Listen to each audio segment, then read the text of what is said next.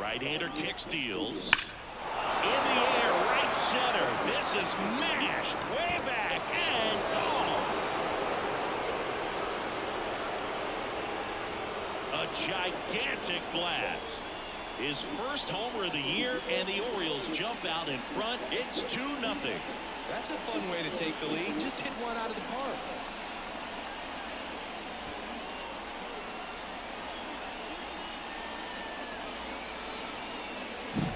Anytime you have a pitch down the middle of plate, the percentages go up for the hitter to do damage, even if it's a pretty good sinker like that one. Nice piece of hitting there at the plate.